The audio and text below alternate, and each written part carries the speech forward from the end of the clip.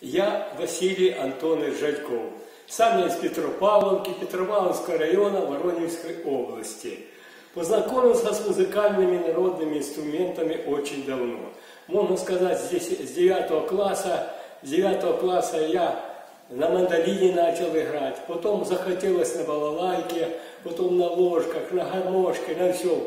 Никто меня этому не учил. Есть самоучители, я покупаю, спокойно разбираюсь, играю. Вот оно, на самый ходовой у меня инструмент это балалайка. Еще хочу сказать всем на вооружение. Если ты имеешь какой-нибудь музыкальный инструмент, это твоя прямая защита от всяких недугов и, так сказать, как моление Богу. В божественных книгах сказано, что кто имеет, умеет петь и играть на музыкальных инструментах, он ближе всего находится к Богу. Еще один секрет вам скажу, что я прожил с женой своей Царствие Небесное 55 лет. Ни разу у нас ругани крупной не было.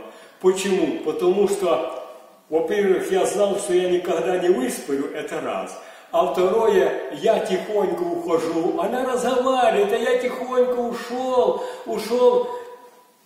Беру балалаечку свою и начинаю, начинаю не, не просто частушку петь, а не цензурные частушки петь, а они они у нас хоре одна солистка была, такая она не может без нецензурной частушки. И вот я начинаю все тихонечко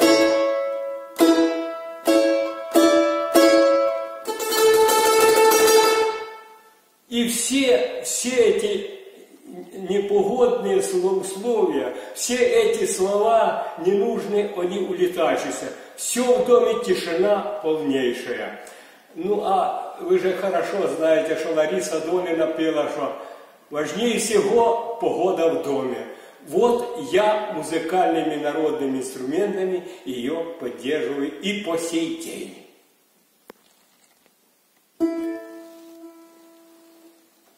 Хочу песенку про Марусю. Мою жену звали Маруся, и мне эта песня очень идет.